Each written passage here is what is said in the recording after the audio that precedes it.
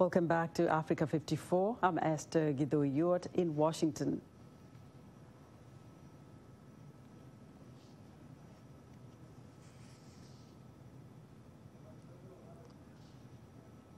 Ghana is witnessing a milestone in its oil industry with the discovery of crude oil offshore by Springfield Exploration and Production Limited, the first independent African energy company to do so. The chief executive officer of the organization, a Ghanaian entrepreneur Kevin Okyere, describes the feat as a model that can inspire African youth. What I've told is that it's a team effort. Springfield Oil Group CEO Kevin Okyere has been described by Forbes as one of Ghana's savviest yet understated entrepreneurs. The Financial Times last month announced that Springfield had struck oil in deep water off Takoradi, saying Okyere's oil exploration enterprise had made two discoveries totaling 1.2 billion barrels of crude off the coast of Ghana in a block that would be bigger than the country's current biggest, the Jubilee Block. If confirmed, the new discovery could significantly boost production in the West African country. The Jubilee field is operated by the UK's Tullow Oil and is one of Africa's largest recent find. It was discovered by Kosmos Energy based in Texas in the United States. Ghana's finance minister Ken Ofori-Atta said earlier this year he expected the country to more than double overall crude oil production over the next four years. Okyere's story is not one of rags to riches. He comes from a wealthy family. But the 38 year old says he showed ambition and drive very early in life. But the 38 year old says he showed ambition and drive very early in life. I used to sell water at a sports stadium at a very young age, at the age of 10, 11, thereabout.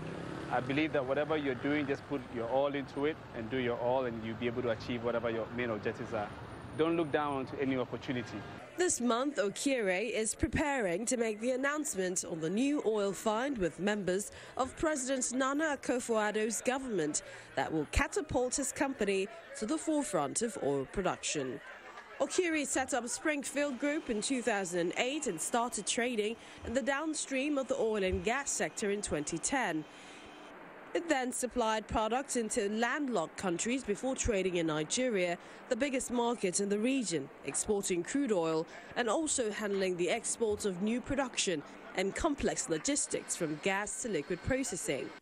Now, on an average, it takes companies maybe 12 months or so to be able to acquire an asset, but it took us four years.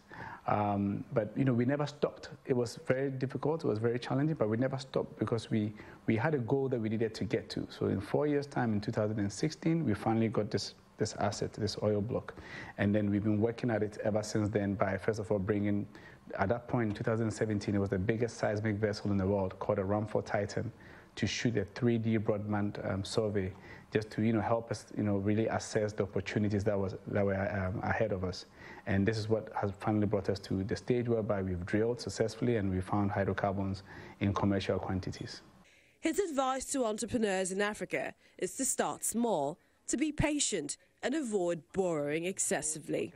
You know, you need to grow organically people are trying to look for, you know, trying to get bank loans and stuff before they can start. You need to grow organically. Start with whatever little space that you can work in and then grow it gradually to where you finally want to be.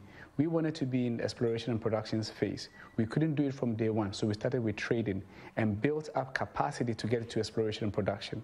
His motto to the African youth is don't give up. Okyere believes not only in giving back, but says any indigenous homegrown success will be good for the rest of the country and investment in the future of Ghanaians. He says higher oil revenue for Ghana means more funds for the state to invest in social development. Let's take a short break as we do. Remind you to visit our website, channelstv.com, for news and other programming. You can also find us on youtube.com forward slash channelsweb.